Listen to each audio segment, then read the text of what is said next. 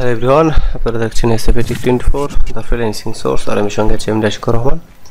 তো আজকে টিউটোরিয়াল বিষয় হচ্ছে ওয়ার্ড পেজ বেসিক লেভেলে কাস্টমাইজ দেখাবো ফুল মানে প্রথমে অবশ্যই গত পর্বে আমি দেখাইছি যে কীভাবে ওয়ার্ড পেজ ইনস্টল করতে হয় বা ডোমেন হোস্টিং কিনতে হয়। তো আজকে দেখাবো যে কীভাবে আপনি প্রথমে আপনি ওয়ার্ড পেজ ইনস্টল করার পরে লগ ইন করার পরে ফুল একদম বেসিক ফার্স্ট টু লাস্ট কীভাবে কাস্টমাইজ করবেন এবং সাজাবেন, সেটা ফার্স্ট টু লাস্ট আমি দেখাবো। সো এটা অনেক গুরুত্বপূর্ণ একটা বিষয়। সো আপনারা অবশ্যই এটা দেখতে চাইলে আমার ভিডিও শেষ পর্যন্ত থাকবেন। তাহলে চলুন আমরা তাহলে আস্তে আস্তে পরিচিত হই ও শিখে নিই। সুপ্রিয় দর্শক মন্ডলী, আমরা এখন ড্যাশবোর্ড ওয়ার্ডপ্রেসের ড্যাশবোর্ড দেখব হ্যাঁ? তো এটা হচ্ছে আমাদের ওয়ার্ডপ্রেসের ড্যাশবোর্ড লগ ইন করার পরে এই অবস্থা দাঁড়াবে। তো লগ ইন করার পরে এই অবস্থা দাঁড়াবে। তো আমাদের সাইটটা দেখে আসি। আমাদের সাইটটা হচ্ছে যে এটা। এটা হচ্ছে অটোমেটিকলি থিম অ্যাড মানে নিয়ে নিছে। এটা হচ্ছে আমাদের ওয়েবসাইট তো আমরা এই যে এখানে ভিজিট দিয়ে দেখতে পাবো। তো ড্যাশবোর্ডের হচ্ছে যে মেন জিনিসটা দেখাই। এটা হচ্ছে ড্যাশবোর্ড এটা হচ্ছে হোম এটা হচ্ছে আপডেট কোনো কিছু আপডেট চাইলে এখানে আসবে। এখানে পোস্ট করা হয়। এখানে আমি যদি পোস্ট করতে চাইলে অ্যাড নিউ পোস্ট দিতে পারলে নিউ পোস্ট আমি এখানে পেজ ক্রিয়েট করতে পারব। অ্যাড নিউ অ্যাড নিউ দিয়ে পেজ তো আমরা এখন আগে থিমটা চেঞ্জ করব। তো আমরা থিম চেঞ্জ করার জন্য আমরা যাব হচ্ছে অ্যাপিয়ারেন্সে অ্যাপিয়ারেন্সে তো ওয়ার্ডপ্রেসের মেন যে ইয়েটা, প্রথমে হচ্ছে থিম সিলেক্ট করা। প্রথমে থিম সিলেক্ট করব আমরা কি করে? প্রথমে থিমসে যাব। থিমসে যাই এখানে হিউজ পরিমাণে থিম আছে। আমরা চাইলে প্রিমিয়াম কিনতে পারি, আর চাইলে আমরা ফ্রিও ইউজ করতে পারি। তো আমি প্রিমিয়াম না, আমি ফ্রি দিয়ে ইউজ মানে ফ্রিটাই ইউজ করে কাস্টমাইজ করে দেখাবো। তো আমরা পরবর্তীতে আমরা প্রিমিয়াম কিনে প্রিমিয়ামটা কাস্টমাইজ করে দেখাবো। তো দর্শক মনে একটু বিরক্ত হতে পারেন, কারণ আমার নেটের স্পিড খুবই খারাপ।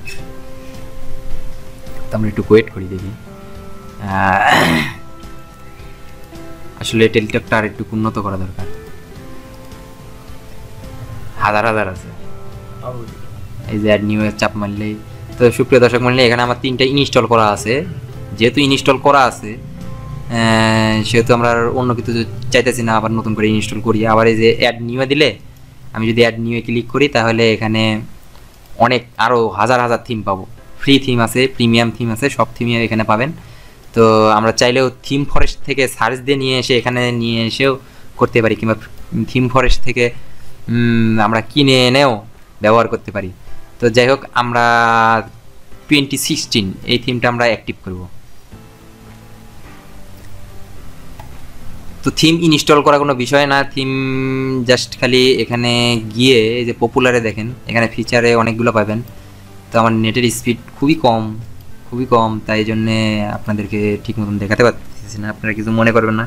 আমরা এই থিমটাই ইনস্টল করে ফেলেছি। তো আমরা একটু রিফ্রেশ মেরে দেখি।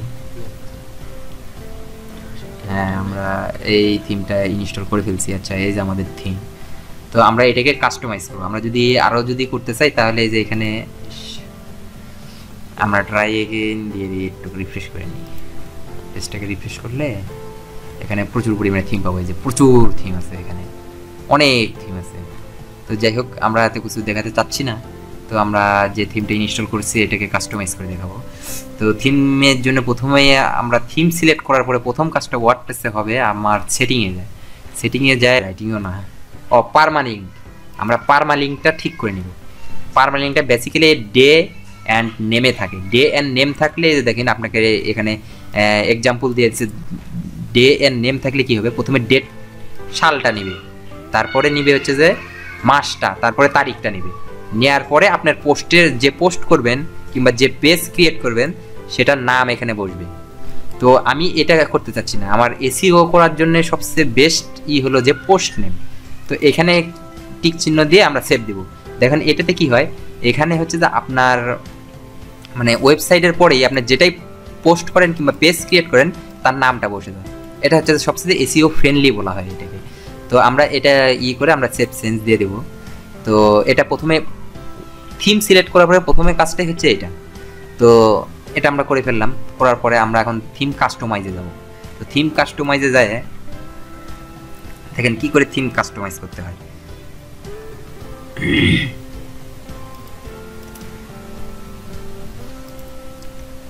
তো আমাদের থিমটা এখন কেমন হয়েছে আমরা একটু দেখে আসি।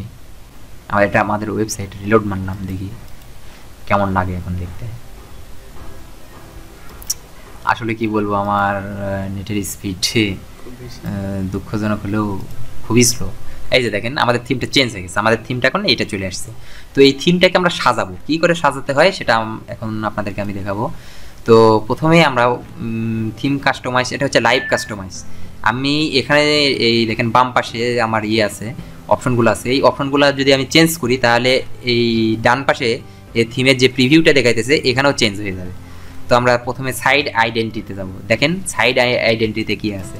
তো সাইড আইডেন্টিতে প্রথমে লোগো তো এই লোগোটা আমরা চাইলে দিতে পারি, নাও পারি। তো এই লোগোটা দিলে কি হয়, না দিলে কি হয়?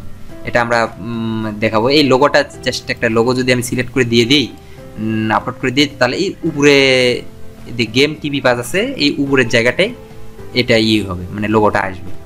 আচ্ছা তারপরে দেখেন কি আছে। তার নিচে আছে হচ্ছে সাইট টাইটেল এই যে আমরা যে ওয়ার্ডপ্রেস ইনস্টল করার সময় যে টাইটেলটা বসাইছিলাম, সেই টাইটেলটা দেখেন এখানে চলে আসছে। আমরা এখানে চাইলে এখান থেকে আমি চেঞ্জ করতে পারব। যে গুগল টিভি পাস না দিয়ে আমি অন্য একটা টাইটেলটা দিতে চাচ্ছি মানে চেঞ্জ করতে চাচ্ছি, কিংবা গুগল টিভি পাস দুই হাজার আঠারো দিতে, দিলাম। এরকম মানে আমি যেটাই চেঞ্জ করি, দেখেন এই পাশে চেঞ্জ হয়ে যাচ্ছে। আচ্ছা এখানে সাইড টাইটেলটা আমি এখন চেঞ্জ করলাম না, আপাতত ওটাই রেখে দিলাম। আর নিচে দেখেন site tag line tag line মানে এটা হচ্ছে সাইড ডিসক্রিপশানে আমরা ইনস্টলের যে ডিসক্রিপশন বসাইছিলাম সেটা এখানে চলে আসছে।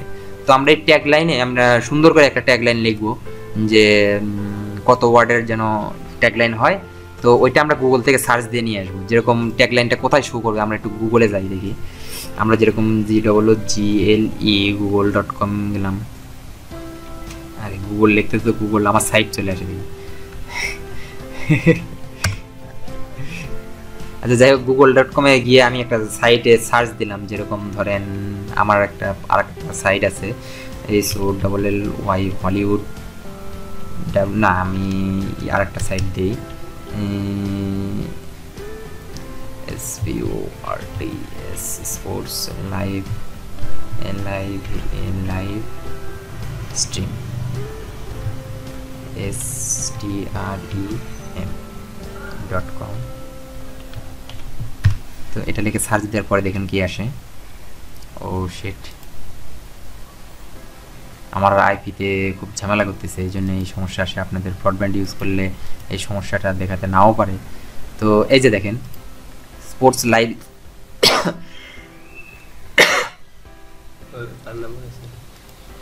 ইএন তো এই যে দেখেন তো এটা হচ্ছে যে আমার সাইট এই সাইটের যে ডিসক্রিপশনটা দেয়া আছে এই ডিসক্রিপশনটাই যে এখানে এতটুকু পরিমাণে শো করছে। তো এটা কত ওয়ার্ডের?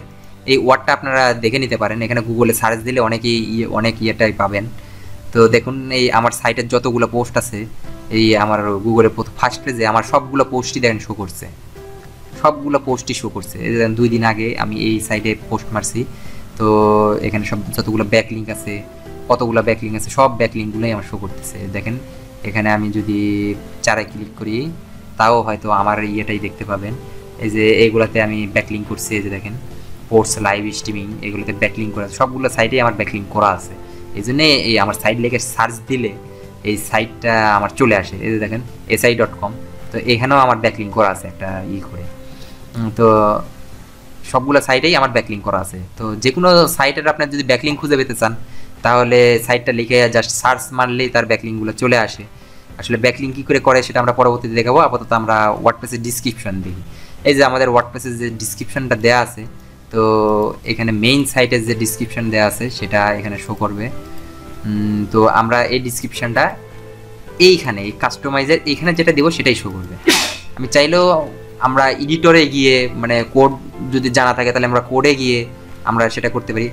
আচ্ছা তারপরে দেখুন, এখানে কি লেখা আছে? যদি সাইটের টাইটেল এবং ট্যাগ লাইন মানে এই দুটা জিনিস যদি আমরা না দেখাতে চাই, তাহলে আমরা টিকচিহ্নটা উঠাই দিব। তাহলে জিনিসটা থাকবে না।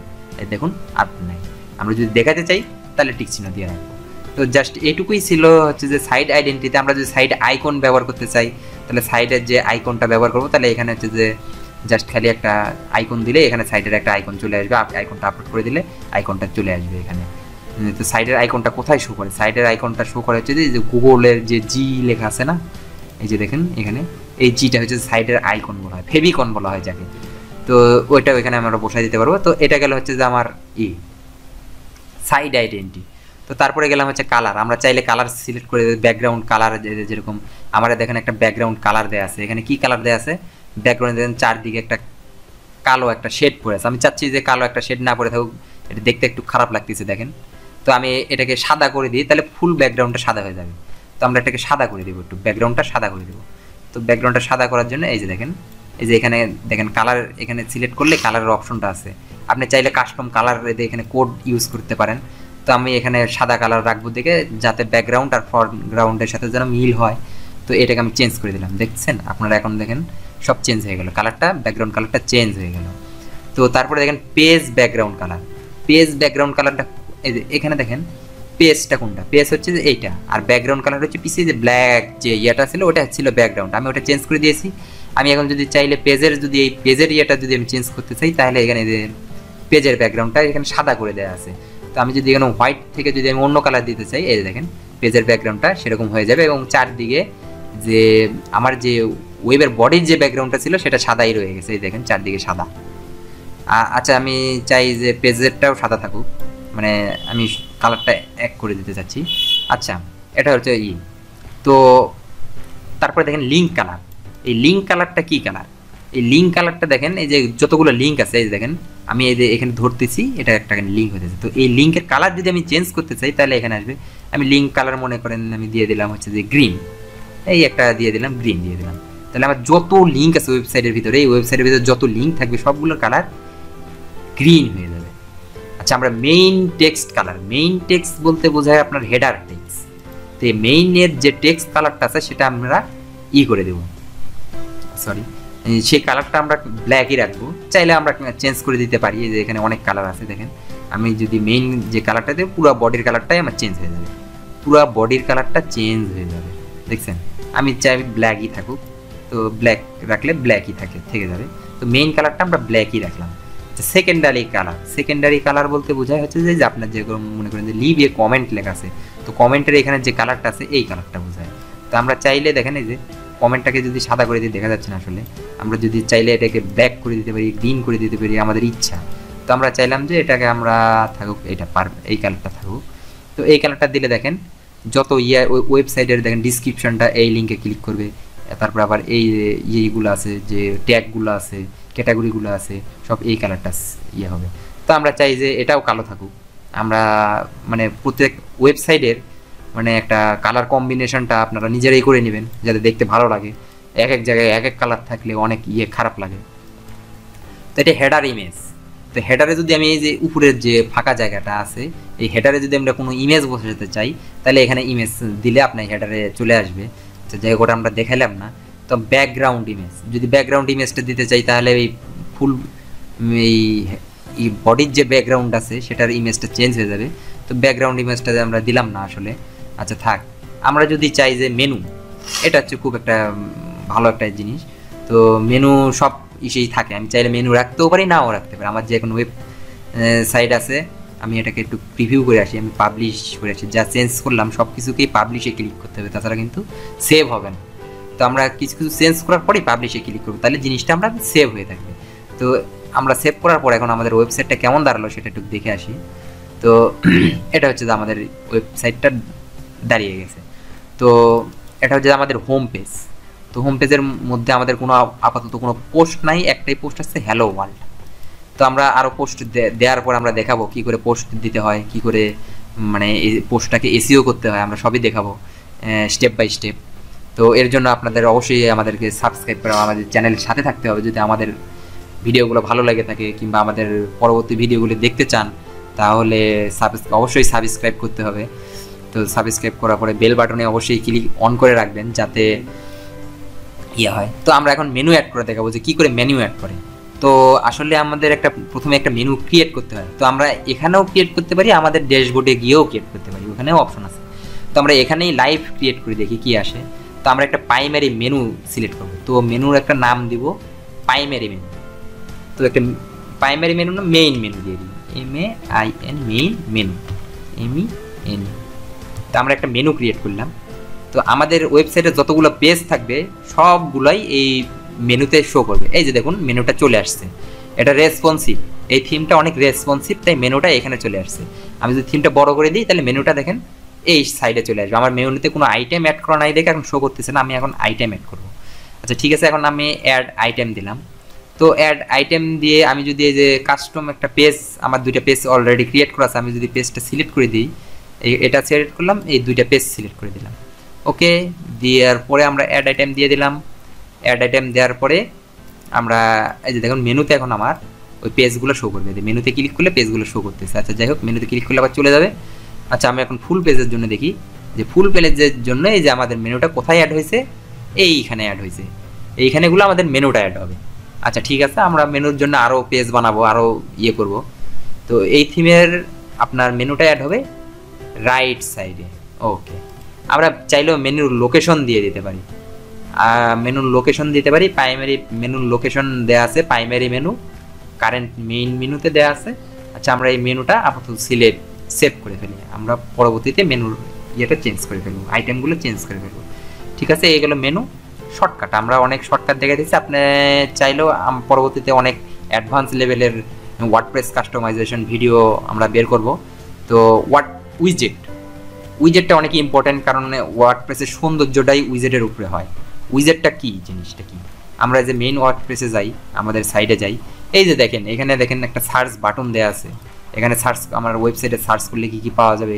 এটা তারপরে রিসেন্টলি আমরা কি পোস্ট করেছি, এটা এখানে শো করবে। রিসেন্টলি পোস্টে কি কমেন্ট হয়েছে, এটা এখানে শো করবে।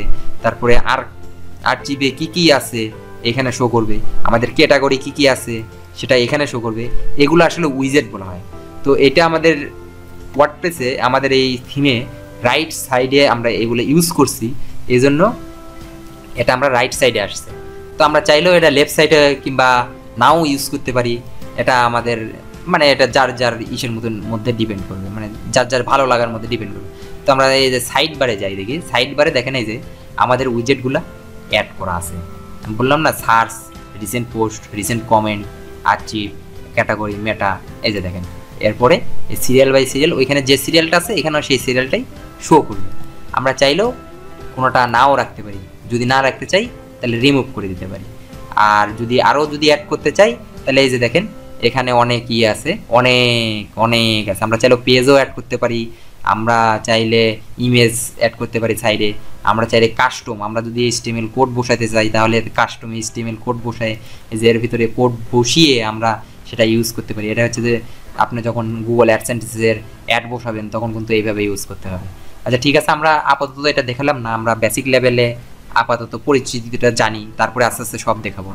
তো কন্টেন্ট বটেম বটম তো কন্টেন্ট বটম এখানেও উইজেট ইউজ করা যায়। আমি যদি এই যে আমার সাইডের বটমে মানে বটমে যে আমার বটম বলা হয় কোথায়? এই যে আমার সাইডে যাই সাইডে গিয়ে দেখি, এই যে দেখেন এটাকে এই সেকশনটাকে বটম বলা হয়। আমি একটু ই করে দিতেছি। এই যে দেখেন Google TV pass proudly pow powered by WordPress এর উপরের অংশটুকুকে বটম অংশ বলা হয়।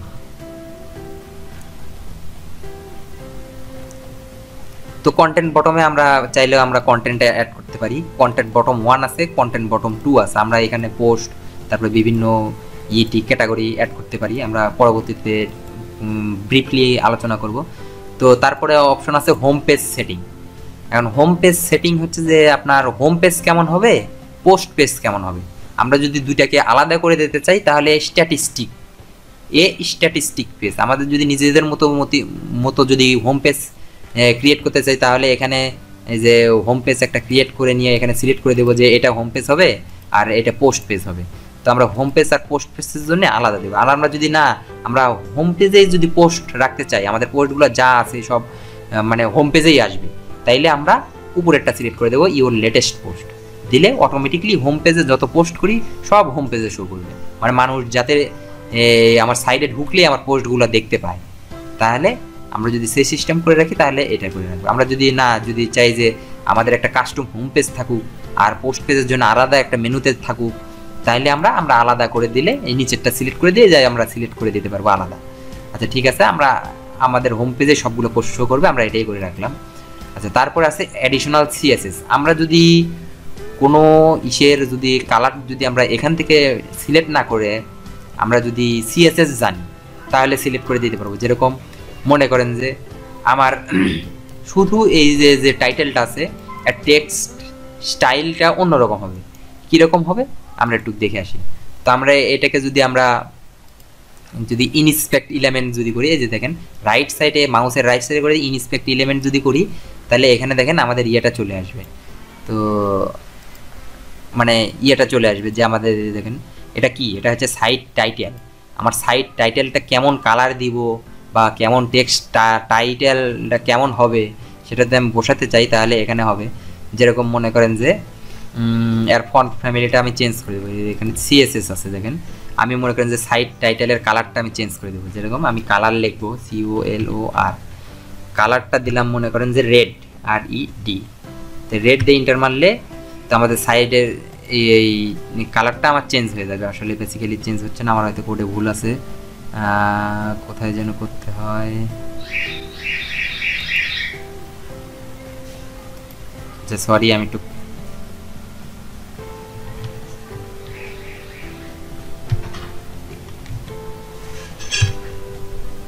আচ্ছা যাই হোক, আপাতত আসতেছে না। আমি ওটাকে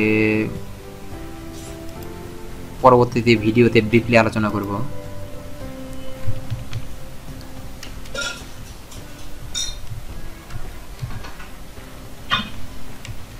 আচ্ছা এই যে এই যে আসছে। তো আমরা এটাকে কি করলাম? সাইট টাইটেলের ভিতরে যে এটা আছে মানে লিঙ্কটা করা আছে, আমরা সেটার কালার যদি আমি রেড করে দিই, তাহলে দেখেন কালারটা রেড হয়ে যাচ্ছে। তো আমি এই জিনিসটা আমি সেভ করব কোথায়? দেখেন, এখানে আমরা কার ভিতরে গেছি? কোন ক্লাসের ভিতরে গেছি? কিংবা এটার যদি ইয়ে থাকে, তাহলে ক্লাস থাকে, তাহলে ক্লাস ধরে যাব। আমরা যেরকম মনে করেন সাইট টাইটেল তো আমরা এটাকে কপি করলাম।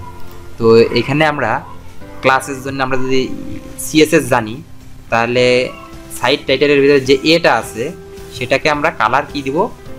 এই রেড দিব। তো আমরা কি করে দেবো? Colour C O L O R colour red দিয়ে দিলাম। আমরা যদি যারা সিএসএস জানি, তারা ইজিলি চেঞ্জ করতে পারবেন। কালার যদি রেড দিয়ে দিই, তাহলে দেখুন আমাদের টাইটেলটা কালার রেড হয়ে যাবে। আমরা যদি সেভ দিয়ে দিই, তাহলে টাইটেলটা রেড হয়ে যাবে। তো সুপ্রিয় দর্শক মণ্ডলী এই যে দেখুন, আপনার টাইটেলটা রেড হয়ে গেছে। তো আপাতত ফুল কাস্টমাইজের মধ্যে এটাই। আমরা পরবর্তীতে আরও কাস্টমাইজ দেখাবো। তো সেটা পরবর্তীতে অ্যাডভান্স লেভেলের ভিডিওতে আমরা দেখাবো। তো এর জন্য আপনাকে অবশ্যই সাবস্ক্রাইব করে রাখতে হবে। তো আমার নেটের স্পিডের খুবই খারাপ। এই জন্য একটু অনেক প্রবলেম হয় আমার ভিডিওগুলো তৈরি করতে এবং আপলোড করতে। তো আমরা চাইব, একটু সময়ের সাপেক্ষে লাগবে আমাদের ভিডিওগুলো দেখতে লাগলে। তো যাই হোক এটা আমাদের সিম্পল ওয়ার্ডপ্রেস কাস্টমাইজেশন এর পরবর্তীতে আমরা অ্যাডভান্স লেভেলে নিয়ে আসব। ওকে ধন্যবাদ সবাইকে। আর আপনারা অবশ্যই সাবস্ক্রাইব করবেন। আর সাবস্ক্রাইব করে আমাদের লাইক কমেন্ট এবং শেয়ার করতে অবশ্যই ভুলবেন না। আর যদি ভিডিও ভালো লেগে থাকে, তাহলে অবশ্যই শেয়ার করবেন। Thank you